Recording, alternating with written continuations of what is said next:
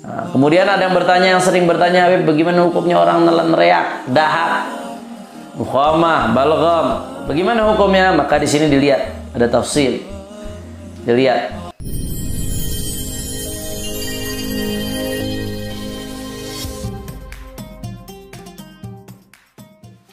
Assalamualaikum warahmatullahi wabarakatuh. Alhamdulillah. Wassalatu wassalamu ala rasulillah Sayyidina Muhammad ibn Abdullah Wa ala alihi wa sahbihi wa man walah. Amma ba'd. Ahibail kiram Alhamdulillah kita bisa bertemu lagi dalam kesempatan ini Dalam rangka menuntut ilmu Mengambil warisannya baginda Nabi Muhammad sallallahu alaihi wasallam. Kemarin kita telah jelaskan uh, sebagian daripada hal-hal yang membatalkan puasa. Saya flashback sedikit ke belakang hal-hal uh, yang membatalkan puasa ada dua, ada muhbitat, ada mufattirat. Ada muhbitat, dia hanya membatalkan pahala puasa tapi tidak membatalkan zahirnya puasa. Puasanya zahirnya tetap sah hukumnya tapi pahalanya batal, nggak dapat apa-apa dari puasanya. Sudah kita jelaskan kemarin apa saja itu muhbitat. Yang kedua mufattirat. Hal-hal yang membatalkan puasa itu sendiri sehingga puasanya tidak sah dan tidak dan dia wajib untuk mengkodok dalam keadaan-keadaan pada umumnya. Nah, apa eh, hal-hal yang masuk kategori mufattirat? Yang pertama adalah riddah, murtad. Kemudian yang kedua uh, haid, nifas dan wiladah melahirkan. Yang ketiga al-junun walau Allah gila walaupun hanya sebentar. Yang keempat al-ighma usukur. Pingsan dan mabuk dengan perincian yang kemarin sudah saya jelaskan dan yang kelima al-jima' dengan perincian yang sudah kemarin saya jelaskan. Nah, sekarang kita masuk yang keenam. Ini salah satu yang paling penting karena ini akan uh, banyak pertanyaan nanti terkait dengan ini. Yang keenam hal yang membatalkan puasa apa? Al-mufattir sadis usulu ainin min manfadhin maftuh ilal jawf. Nah, ini ini yang paling penting dan ini yang paling luas nanti babnya. Usulu ainin min manfadhin maftuh ilal jawf sampainya ain. Ain itu uh, ain adalah sesuatu yang kasat mata. Lah asar ada ada ada bekasnya dia. Sesuatu yang memang kasat mata, terlihat oleh mata. Beda halnya cuma dengan aroma wangi, misalkan dari minyak wangi. Dia sampai ke hidung kita tapi tidak kasat mata, nggak ada bentuknya. itu tidak dinamakan ain. Ain ay syai' yura bil ain mahsus lahu athar Nah, itu adalah ain. Uh, jadi masuknya sebuah ain yang tadi sudah saya jelaskan apa itu ain? Min manfadin maftuh dari lubang yang terbuka. Lubang yang terbuka dalam tubuh manusia itu ada uh, lima yang dimaksud lubang terbuka di sini, yaitu mulut, hidung, kemudian telinga menurut Mu'tamad Madhab Syafi'i, lalu uh, kubul dan dubur. Itu lima lubang terbuka dalam tubuh seseorang. Walaupun uh, telinga ini ada khilaf. Imam Al-Ghazali mengatakan telinga bukan termasuk manfaat maftuh karena dari telinga tidak ada saluran yang mengalirkan ke otak atau ke ke tenggorokan. Nah, itu menurut Imam Al-Ghazali radhiyallahu alaih sehingga beliau mengatakan tetes kuping itu tidak batal. Obat tetes kuping tidak batal. Tapi mayoritas ulama madhab syafi'i mengatakan bahwasanya telinga masuk kategori manfaat maftuh yang manakala masuk ke batinnya sesuatu maka itu bisa membatalkan puasa. Jadi sekali lagi yang keenam sampainya sebuah ain kepada um, uh, dari manfaat maftuh dari lubang yang memang terbuka lima lubang tadi ilal jof ke jof. Jof ini artinya adalah rongga terbuka. Uh, jof di sini meliputi uh, dimal otak misalkan sesuatu dari hidung masuk ke otak atau al-halq wa mawara'ahu ilal am'a tenggorokan terus sampai ke bawah uh, sampai ke am'a sampai ke usus ke lambung ke perut dan lain sebagainya. Nah, itu masuk kategori jauf Begitu pula dubur, dalamnya dubur, itu masuk kategori jauf. Begitu pula dalamnya kemaluan, uh, saluran mohon maaf, saluran air kencing, baik untuk laki-laki atau perempuan. Begitu juga saluran head uh, untuk perempuan, itu masuk kategori juf. Ah, manakala sesuatu yang ain, sesuatu yang yuhas mahsus bil ain laha athar yang tadi sudah saya jelaskan maksudnya masuk melalui manfaat maftuh lubang terbuka ke juf. Juf itu yang tadi saya sebutkan. Otak, rongga-rongga terbuka, tenggorokan sampai ke bawah, sampai ke perut, usus, lambung, begitu juga dubur dan kubul, bagian dalamnya. Nah, masuknya ain melalui manfaat maftu ke tempat-tempat tersebut itu adalah sesuatu yang membatalkan puasa. Contohnya apa? Makan. Makan itu masuknya makanan, makanan itu ain, nampak, mahsus. Ah, melalui manfaat maftu, hidung. Masuk ke mana? Masuk ke juf, ke tenggorokan. Sampai ke perut. Nah, itu batal puasa karena masuknya ain melalui manfaat maftu ke ke jauf. Contohnya lagi apa? Ada sebagian yang pakai obat untuk ke otak melalui hidung. Nah, dimasukkan melalui hidung sampai ke otak. Nah, obat itu ain, sesuatu yang nampak kasat mata, ada bekasnya. Dimasukkan melalui manfaat maftu hidung. Ke mana? Ke jauf, batinnya hidung atau ke otak.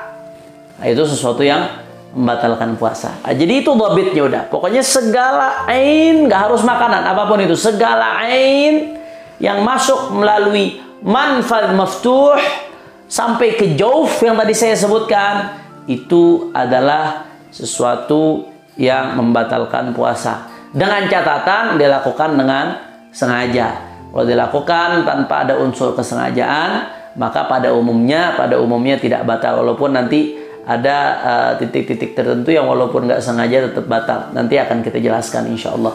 Dan uh, dilakukan dalam keadaan ingat. Beda halnya kalau dia lupa, dia dalam keadaan puasa. Akala nasian, makan lupa kalau dia sedang puasa. Walaupun sampai habis satu piring setelah minum baru ingat, oh saya lagi puasa. Maka yang tadi itu nggak membatalkan puasa. Inna Allah wasaqah. Itu bonus dari Allah Subhanahu wa taala untuk hamba-hambanya karena lupanya itu nggak dianggap ghair mukallaf ketika dia lupa. Nah, jadi usul ain. Beda halnya cuma wangian atau angin, angin yang benar-benar tidak membawa apa pun oh, masuk hidung kita, angin itu ada aromanya. Nah, itu bukan ain, maka nggak membatalkan. Beda halnya dengan rokok. Kalau rokok ada ainnya. Rokok itu ada ain.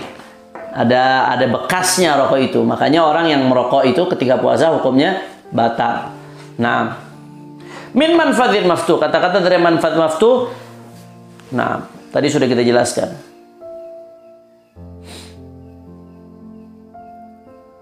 Nah, itu bobit. Tinggal diterapkan ke semua gambaran-gambarannya. Apa pun itu, apa pun yang namanya ain. Kalau masuk dari manfaat maftuh uh, kepada jov, maka membatalkan puasa selama uh, tidak dalam keadaan lupa. Nah, Mata, bagaimana kalau masuk dari mata? Obat tetes mata misalkan. Mata menurut mu'tamad madhab syafi'i bukan termasuk manfaat maftuh. Sehingga andai kata masuk melalui mata, misalkan seperti obat tetes mata, itu menurut pendapat yang mu'tamad tidak membatalkan puasa. Nah, eh, kemudian di sini ada beberapa masalah yang terkait dengan ini. Eh, contoh permasalahan masalah suntik, bagaimana batalkan puasa atau tidak? Silahkan cek, saya sudah bahas di salah satu video secara detail. Di situ ada empat pendapat ulama dalam masalah ini. Ada yang mengatakan batal sama mutlakon, ada yang mengatakan tidak batal apa pun keadaannya yang namanya suntik karena dia bukan dari e, manfaat maftuh, dia dibuat lubang itu. Ada yang mengatakan kalau suntiknya ke urat batal. Nah, tapi kalau suntiknya ke daging atau ke otot tidak batal. Nah, ada lagi ulama yang mengatakan tergantung apa suntikannya. Kalau suntikannya untuk obat nggak batal, tapi kalau suntikannya untuk makanan, protein, gizi maka batal. Nah, itu saya sudah jelaskan dalam salah satu video, silakan Anda bisa melihat. Itu termasuk masalah yang berkait dengan ini. Nah, kemudian ada yang bertanya, yang sering bertanya, Habib, bagaimana hukumnya orang nelan reak, dahak, mukhamah, balgam? Bagaimana hukumnya orang nelan reak atau dahak?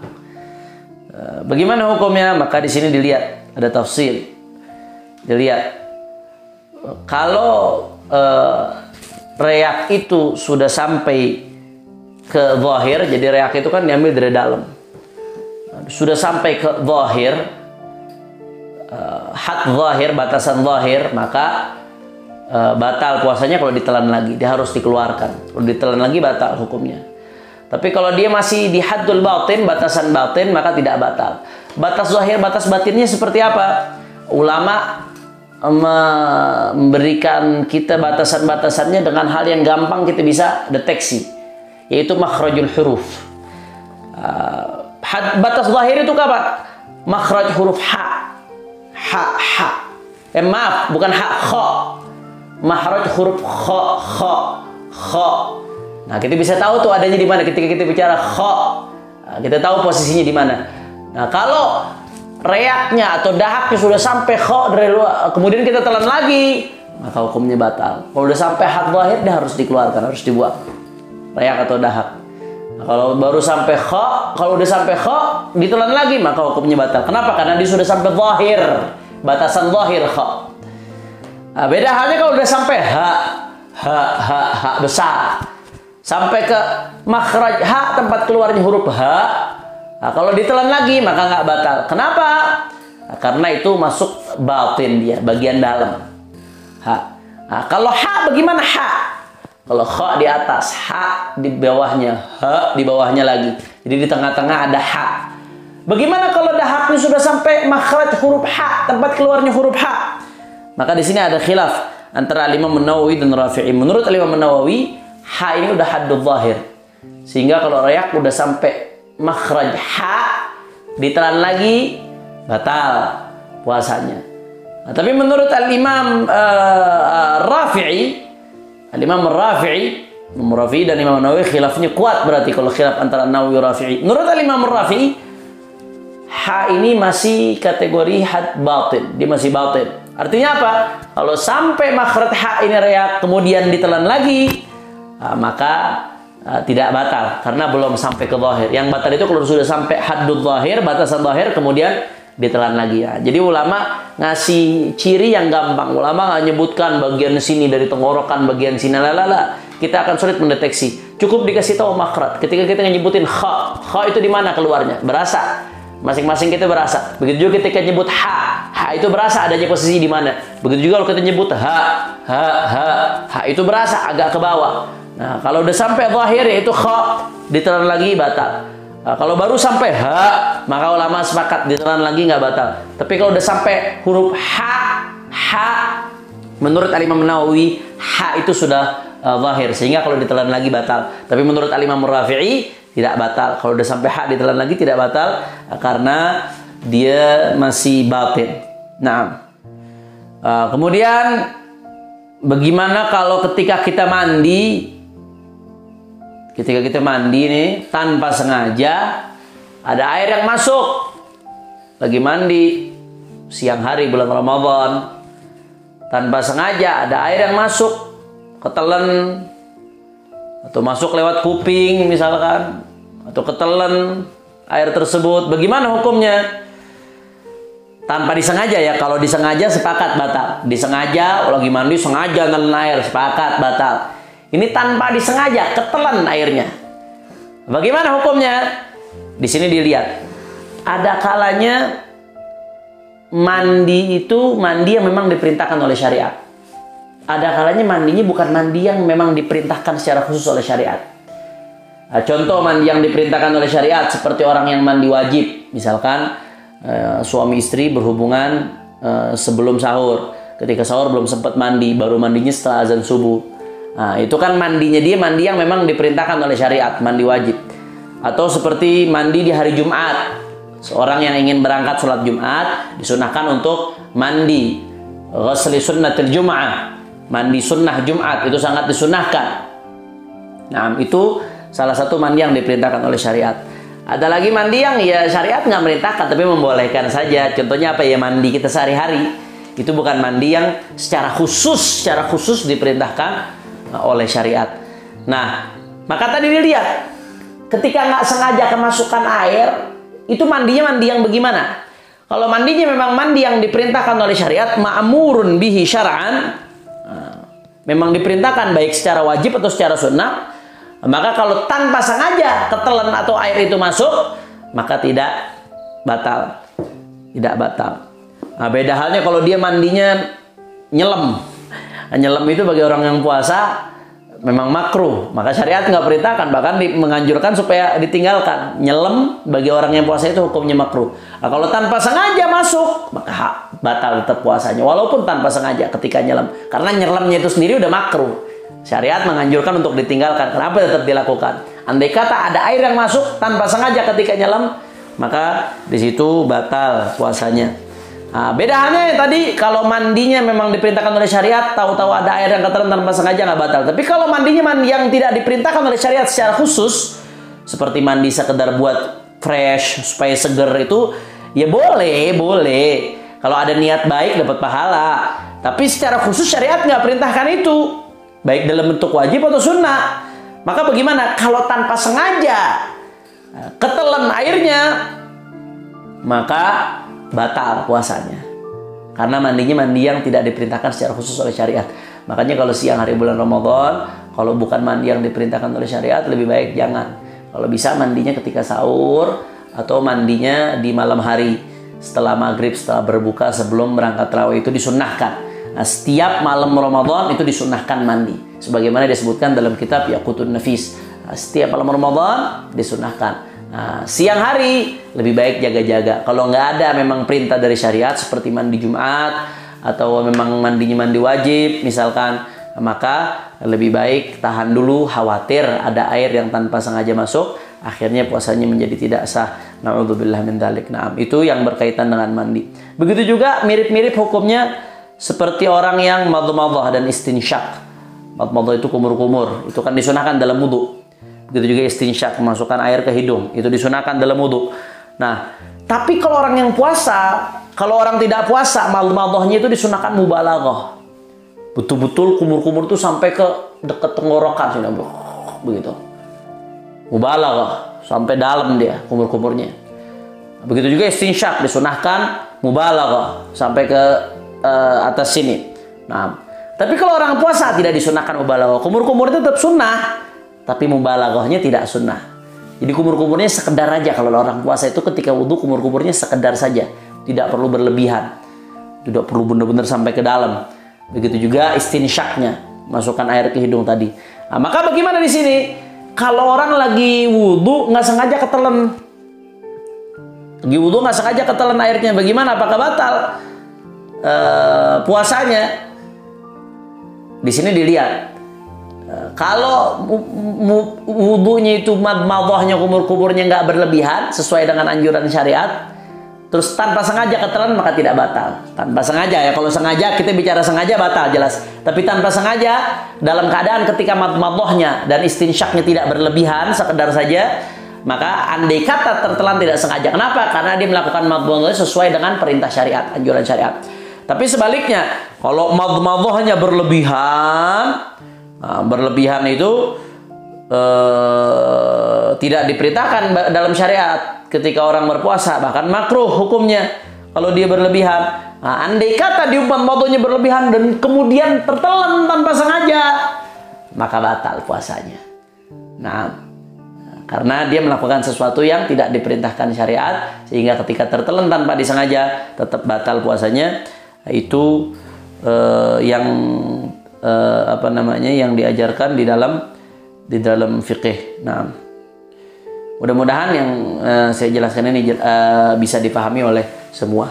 Jadi ini intinya, intinya itu, intinya yang paling menonjol yang membatalkan puasa al-mufattir adalah usul ain masuknya ain sesuatu yang terlihat yang nampak ila ma yusamma jaufan ke sesuatu yang disebut jauf yang tadi sudah saya jelaskan.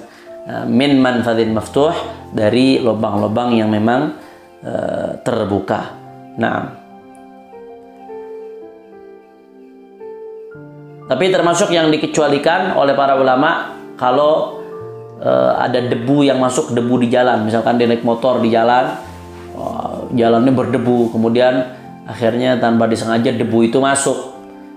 Sulit untuk dihindari maka itu tidak batal. Walaupun ini sebenarnya itu ain. Debu itu ain. Nampak. Masuk ke jauf dari manfaat maftuh. Tapi di situ e, dimaafu dimaafkan dan tidak batal puasanya karena sulit untuk dihindari. Begitu juga lagi di jalan, misalkan jalan di tengah-tengah sawah, naik sepeda, eh, ada nyamuk. Tahu-tahu nyamuknya ketelan, bukan sengaja nelen dia nyamuknya ketelan, maka tidak batal karena sulit untuk dihindari yang seperti itu. Itu tidak ada unsur kesengajaan di situ. Nah, nah kemudian itu yang ke eh, enam tadi usul ainin min manfadil maftu ilama yusamma jaufa. Kemudian yang ketujuh al-mufattir asabi al-istibna itu mengeluarkan mani. Mengeluarkan mani hukumnya batal. Orang yang mengeluarkan mani eh, baik dengan tangannya sendiri dan itu haram, haram termasuk dosa uh, naudzubillah min dalik atau menggunakan tangan istrinya. Aslinya kalau tidak dalam keadaan puasa mengeluarkan mani dengan tangan istrinya boleh-boleh saja. Ini hukum mohon maaf dengan tangan istrinya boleh-boleh saja. Dengan tangan sendiri hukumnya haram tidak boleh. Nah, Ah, mengeluarkan mani dengan tangan sendiri atau dengan tangan istrinya ketika sedang dalam keadaan puasa itu hukumnya membatalkan puasa. Nah,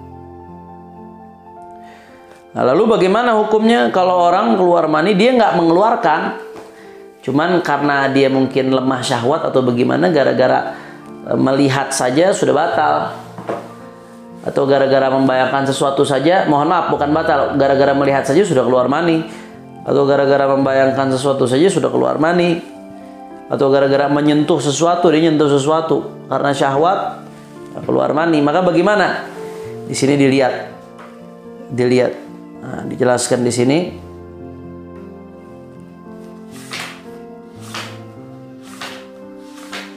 secara detail dijelaskan di sini eh, nah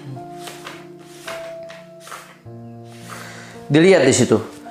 Kalau yang tadi keluar mani dengan dikeluarkan memang udah jelas batal baik dengan tangannya sendiri atau dengan tangan uh, dengan tangan istrinya. Batal. Nah. Tapi kalau keluar maninya itu karena uh, tanpa ada mubasyarah maksudnya tanpa tanpa dikeluarkan bukan bukan tanpa mubasyarah tanpa dikeluarkan Misalkan karena dia bersentuhan dengan orang lain, tahu-tahu karena lemah syahwat langsung keluar. Atau karena berciuman atau karena yang lainnya lemah syahwat tahu-tahu keluar. Maka bagaimana hukumnya? Di sini dilihat dulu. Sini dijelaskan dalam kitab I'anatut Talibin. Nah, dilihat dulu dia karena sebab bersentuhan dengan apa? Kalau dengan bersentuhan bersentuhan dengan hal yang memang kharij an tiba'is salimah. Dia keluar dari uh, apa namanya manusia normal.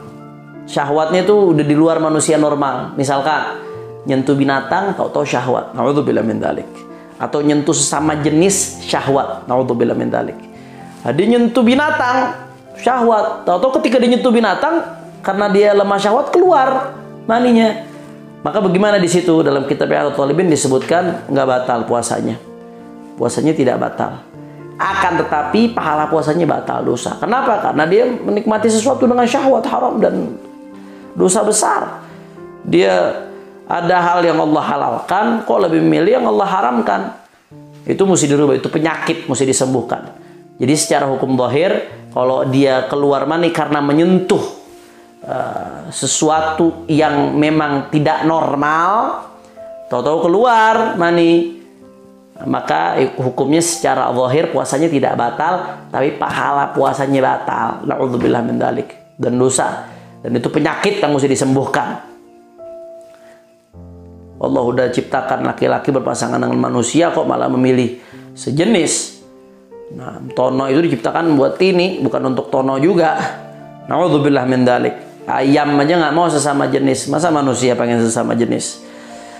Wa amma idza kana al-inzal bilams ma. Nah, tadi kalau dia keluar mani karena sebab menyentuh sesuatu yang uh, di luar syahwat normal. Sekarang bagaimana kalau dia menyentuh sesuatu yang memang normal? Maka dia lihat dulu di situ. Yang disentuh itu apa namanya? sesuatu yang diharamkan untuk dia atau tidak? kalau sesuatu yang diharamkan untuk dia manakala menyentuhnya dengan syahwat dan tanpa ada hail, tanpa ada pembatas, uh, dia sentuh sesuatu yang diharamkan untuk dia misalkan perempuan perempuan yang memang bukan dihalalkan untuk dia pacar dia sentuh tangannya nyentuh tangan karena lemah syahwat keluar mani tahu tahu maka hukumnya batal. Nah, ketika dengan syahwat dan tanpa penghalang. Nah, batal dan dosa. Di siang hari bulan Ramadan tempat turunnya rahmat tapi kita malah mencari murka Allah. Na'udzubillah min dalik. Saya pernah baca keterangan orang yang berbuat dosa di bulan Ramadan pernah baca satu riwayat itu pahalanya eh dosanya didobel, didobel. Sebagaimana pahala orang di Ramadan didobel pahala sunnah jadi seperti pahala wajib. Pahala wajib dilipat gandakan sekian kali lipat di bulan Ramadan. Nah, dosa juga double. Allah udah buka pintu rahmat malah nyari murka Allah. Naudzubillah min dalik. Nah, terus kalau orang yang memang dihalalkan untuk dia gimana Beb? seperti istrinya. Nah, maka kalau dia nyentuh istrinya atau karena lama syahwat keluar mani maka di sini e, batal puasanya. E, kalau Nah, batal puasanya dengan catatan nyentuhnya itu tanpa e, penghalang, jadi langsung ke kulit. Beda halnya kalau ada penghalang, maka puasanya nggak batal tapi dia dosa. Karena nggak boleh e, melakukan sesuatu yang ada syahwat di situ ketika Ramadan tidak boleh. Dia tidak batal. Kalau ada penghalang nggak batal. Tapi kalau ada, kalau tanpa penghalang disentuh istrinya atau karena syahwat keluar mani maka batal. Ini saya bicara bukan dikeluarkan ya karena lemah syahwat dia keluar sendiri. Beda halnya kalau dikeluarkan. Kalau dikeluarkan sepakat ulama batal. Dikeluarkan. Madhab Syafi'i sepakat batal dan jumhur ulama sepakat batal. Illa man syadza. Kecuali yang syad kalau dikeluarkan. Tapi kalau karena sentuhan itu tadi hukumnya. Nah, karena dia nyentuhan, tahu-tahu keluar sendiri. Nah, kemudian bagaimana hukumnya orang yang keluar mani karena sebab nazar. Karena ngelihat sesuatu ngelihat sesuatu lemah syahwat. Sesuatu yang memang dia lemah syahwatnya. Tahu-tahu bangkit syahwat tersebut karena ngelihat sesuatu tahu-tahu keluar. Atau karena memikirkan sesuatu tahu-tahu keluar. Hukumnya bagaimana? Dia lihat di situ. Kalau memang dia biasa hanya dengan melihat keluar Tahu-tahu sekarang keluar, dia udah tahu. Dia kalau ngelihat tuh bisa keluar. Tahu-tahu kelihat lagi puasa maka batal. Tapi kalau biasanya nggak seperti itu, tapi tahu-tahu keluar maka batal. Nauzubillah min dalik. Maka tidak batal, maka tidak batal. Biasanya nggak keluar, tahu-tahu saat ini keluar. Maka hukumnya tidak batal. Tapi, tapi tolong jangan dipotong ya omongan saya. Tapi walaupun puasanya nggak batal, yang tadi itu gambaran kedua, puasanya tidak batal itu orang yang biasanya dengan cuma ngelihat tidak keluar. Tahu-tahu ketika puasa dia ngelihat keluar tiba-tiba hanya dengan melihat saja. Nah, tapi yang seperti ini walaupun puasanya zahirnya tidak batal tapi pahala puasanya gugur karena dia melihat apa yang diharamkan oleh Allah Subhanahu wa taala.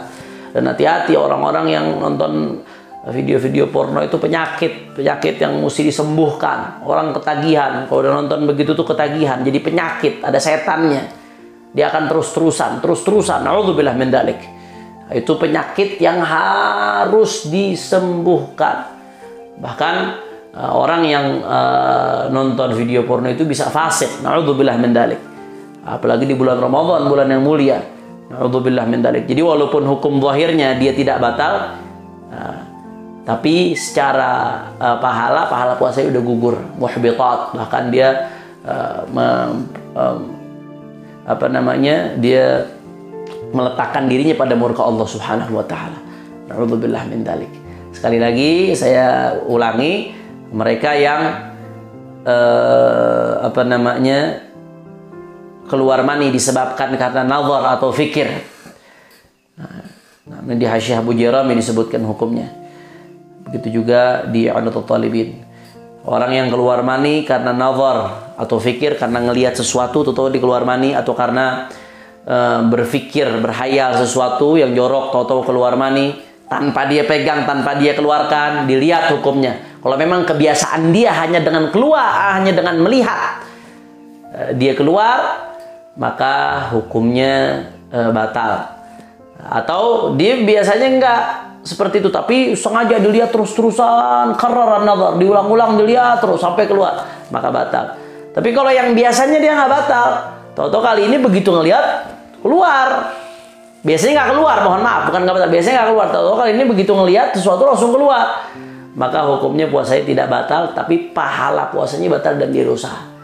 Jangan sampai kita uh, apa namanya menyebabkan hal-hal yang menyebabkan murka Allah Subhanahu wa taala. Nauzubillah min dzalik.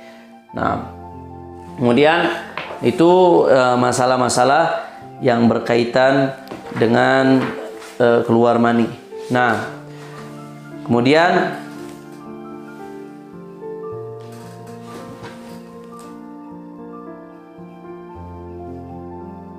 Bagaimana hukumnya kalau mencium?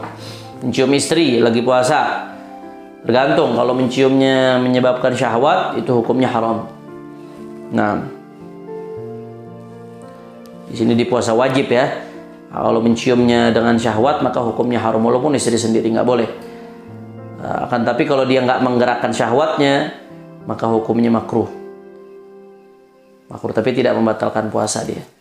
Kecuali kalau menciumnya itu menyebabkan uh, inzal, menyebabkan keluar mani, maka batal puasanya. Tapi kalau hanya menggerakkan syahwat saja hukumnya haram dosa tapi tidak batal. Kalau tidak menggerakkan syahwat hukumnya makruh.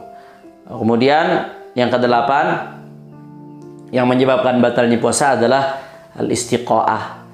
Al-istiqaah ini artinya talab wa ta'ammudu khurijil. Sengaja mengeluarkan muntah muntah itu nggak membatalkan puasa, tapi kalau sengaja dikeluarkan hukumnya membatalkan puasa. Nah, muntah tidak batalkan puasa. Manakala tanpa disengaja, tapi kalau sengaja dibuat muntah dikorek-korek supaya muntah atau sengaja cari bau yang bikin dia enak supaya muntah, itu membatalkan puasa. Walaupun cuma sedikit, kalau sengaja dikeluarkan batalkan puasa. Nah, Ah, tapi kalau nggak sengaja, walaupun nggak sengaja, andai kata nggak sengaja, maka bagaimana?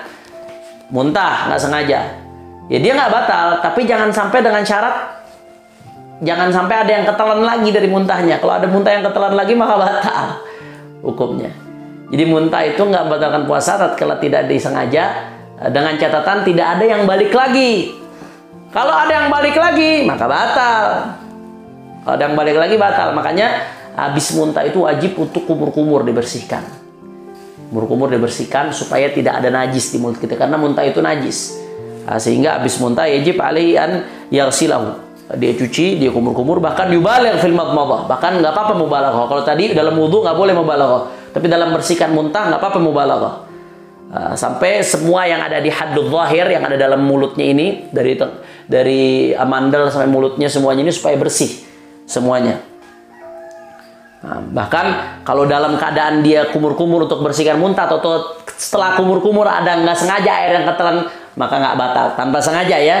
Air yang dipakai kumur-kumur untuk bersihkan muntah ketelan nggak sengaja. Kenapa? Karena kumur-kumurnya itu diperintahkan oleh syariat. Bahkan mubalaghahnya diperintahkan oleh syariat dalam hal ini nah mudah-mudahan yang saya sampaikan ini bisa jelas dan kita tahu hal-hal yang membatalkan puasa ini tujuannya untuk apa supaya kita bisa menghindari hal-hal tersebut dan supaya puasa kita betul-betul sah dan diridhoi oleh Allah Subhanahu wa taala.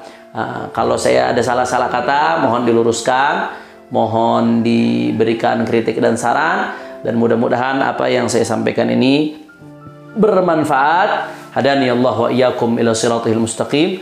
Wa minkum. Assalamualaikum warahmatullahi wabarakatuh.